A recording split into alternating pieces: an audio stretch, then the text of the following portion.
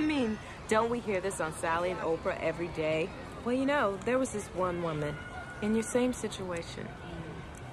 This man kept saying he was gonna leave too. She got her hopes all up and everything.